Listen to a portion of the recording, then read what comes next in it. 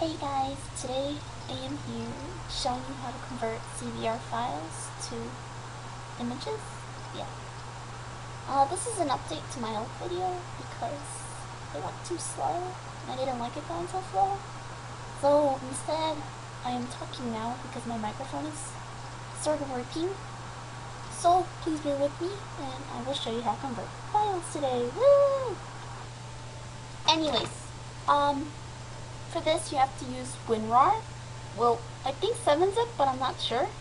Anyways, this tutorial, I'm using WinRAR. So, get your CBR file. In this case, I am using the Sonic the Hedgehog one. I just have some. Okay. Uh, right click and click on Add to Archive. Once you do that, you want to select Zip, and after you have your path, or where you want to save it to, like selected, press OK. Now it'll do that me. Okay.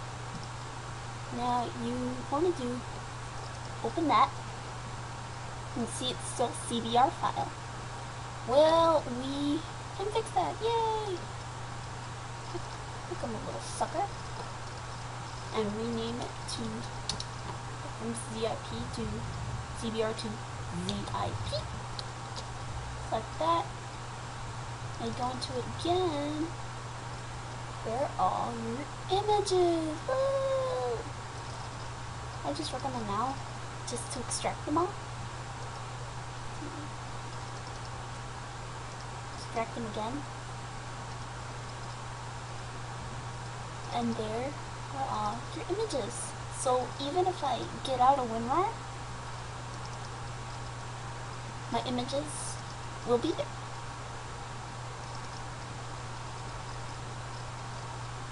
Yay! Oh